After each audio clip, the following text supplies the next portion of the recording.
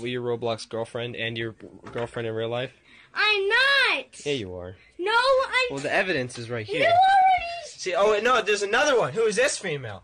This chick just came up to you. you got in my Roblox house. pussy, my guy. You got so much. No. He's talking to some other girl about No, about my house. sex. Wait, that's not the right one. I can't. Hold on. I'll find it in a second. Oh, you got two bitches in your house.